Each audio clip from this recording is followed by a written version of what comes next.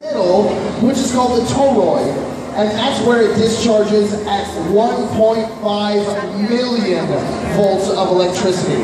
So we're putting in 240 volts, but we're getting out 1.5 million. So do you guys want to see it again? Yeah! Well, let me hear it. Do you guys want to see it again? Yeah! Five, four, three, two, one. Awesome. So electricity moves through copper very easily. What do we call something Copper. that electricity really likes to move through? Copper. Can I hear everybody here say conductor? Conductor! Awesome. Air, however, is the opposite of a conductor. Electricity has trouble moving through air. What do we call something that electricity does not like to move through? An insulator. Can I hear say Insulator. Insulator. Insulator! So as human beings, are we conductors or are we insulators? Insulators. Conductors. Electricity Conductors. moves very easily through us because we are made up of water. And water, especially salty water, is a great conductor.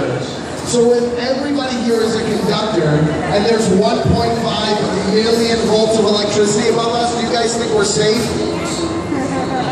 Yes, absolutely. We are totally safe because as powerful as that electricity is, it is lazy. It likes to take the path of least resistance. So the electricity could jump 40 feet all the way down to us through all that air, or it could jump 10 feet to those big aluminum rings, which lead outside the building, and 10 feet underground. So the electricity is always going to go to those aluminum rings.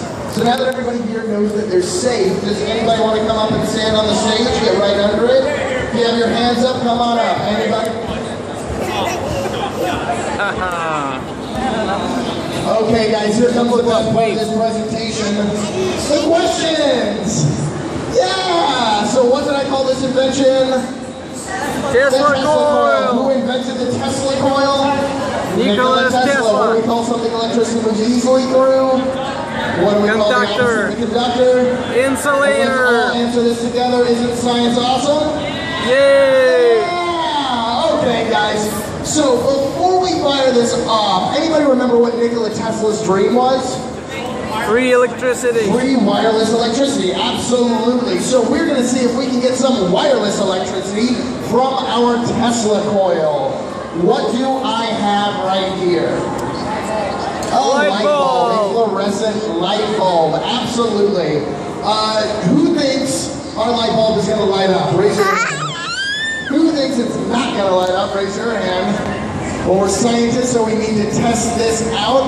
If you would please hold on to our uh, fluorescent bulb, hold it up high. Okay, guys, we're all going to count down together from five. Let's all count super loud. Here we go. Five. Four! Come on, guys. Two!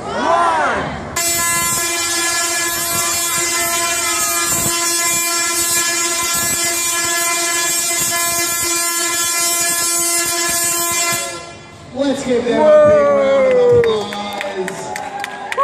So as you guys can see, wireless electricity exists and has existed for over 100 years.